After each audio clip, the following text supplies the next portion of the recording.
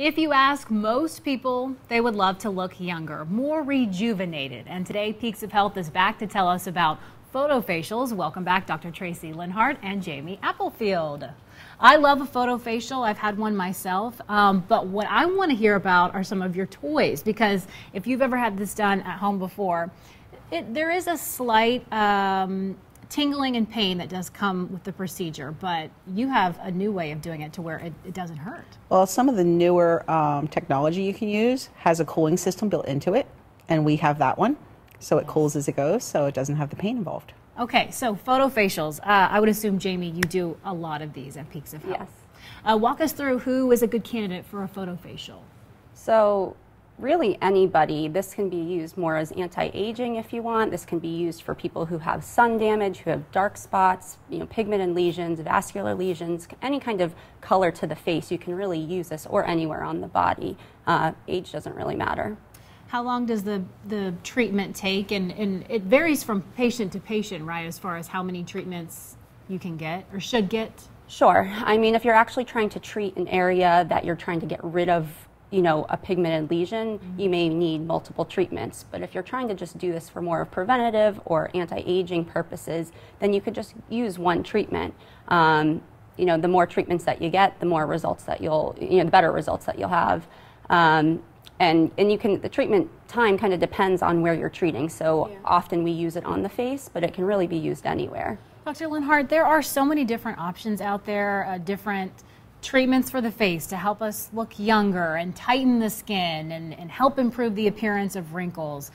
How can you help somebody at home figure out which one is going to be best for them and, and they're going to get the optimum results? Well, for a couple of things. No, we run a lot of seminars and things, so we actually try to educate the public on what is available to them.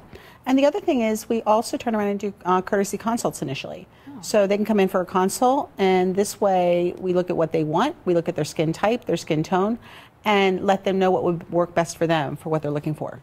Tell me more about the, the seminars. When is that happening? Yeah, fourth Thursday of every month, we have seminars at the office. And, you know, um, in August, our seminar is on photofacial. So, you know, with that, they can come in. If you come in for a seminar, you actually get a discount on the procedure. So, you know, when we run specials every month, they can go to our website to keep up with when the seminars are. Uh, so we have them posted there every single month. Jaime, when you do these photo facials, what type of downtime um, can people expect or what you have seen? How, how do we need to prepare for that? So there is no downtime. You can drive yourself to the appointment. You have, you know, the procedure. You could drive yourself home. You could go to work. We ask you to kind of avoid sun, direct sun exposure, use lots of sunscreen, cover that face or with the area that we're treating.